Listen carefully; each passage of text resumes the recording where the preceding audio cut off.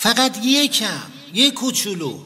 اگه دقت کنیم به فرمایشات اهل بیت یکم عمیق باشیم. برداشت خیلی متفاوته. دیگه راحت از کنار این فرمایشات رد نمیشیم. دیگه اینقدر امام زمانمون اصل دینمون قریب نمیمونه. دیگه اینقدر خودمون جامعهمون بدبختی این بیتوجهی رو نمی‌کشه. تا کجا می‌خوایم ما بدبختی بکشیم؟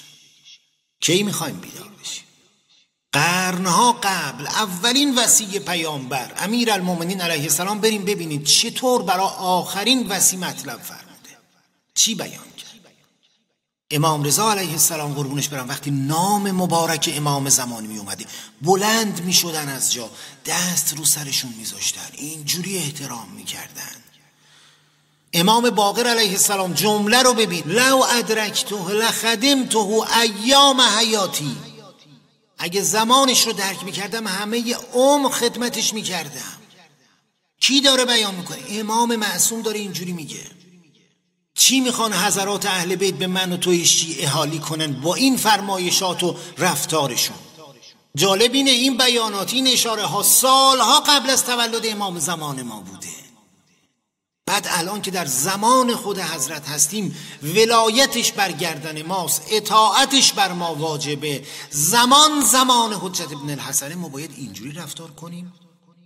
اینقدر بی توجهی کنیم که از این بزرگوار صدها گلایه به ما برسه که بفرمایند شیعیانم به اندازه آب خوردنی هم منو نمی‌خواد چی جواب جدش پیغمبر رو می‌خوایم بدیم؟ فردای قیامت چی جواب مادرش فاطمه رو می‌خوایم بدیم؟ قیامت امام حسین رو ببینی بفرمایند حلم ناصر منتقم منو شنیدین؟ حلم ناصر فرزندم مهدی رو شنیدین؟ چی کار کردین؟ چی جواب می‌خوایم بدیم این همه حلم ناصر فرموده امام زمان. جواب حلم ناصر ندیم بیچاریم بیچارگیشو داریم می‌کشیم می‌بینیم. تا کی می‌خوایم به این بدبختی ادامه بدیم؟ حواسمون باشه تبلیغ برای امام زمان کار برای امام زمان معرفی امام زمان ترویج دعا برای فرج وظیفه هر شیعه امیر المؤمنینه تکلیفه تکلیف این نماز روزه و اینا نیست فقط. خلاصه جایی که باقر العلوم علیه السلام امام معصوم بفرمایند اگه زمانشو درک می‌کردم تمام عمر خدمتش می‌کردم. الان شما در زمان ولایت همین امامی ببین چه چیزی رو خیلی درخواست کرد. ببین چی براش خیلی مهمه. همون رو تبلیغ کن. کار کن براش. حرف بزن دربارش. خرج کن برای محقق شدنش. ببین چه خدمتی از دستت برمیاد برای امام زمانت. با تمام وجود انجامش بده.